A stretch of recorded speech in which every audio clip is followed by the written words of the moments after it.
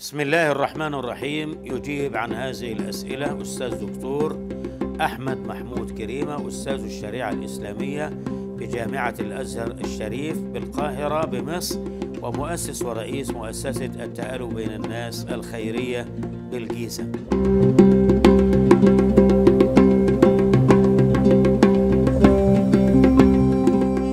بالنسبة لإفطار الطلاب وهم يجرون الاختبارات طبعا لا.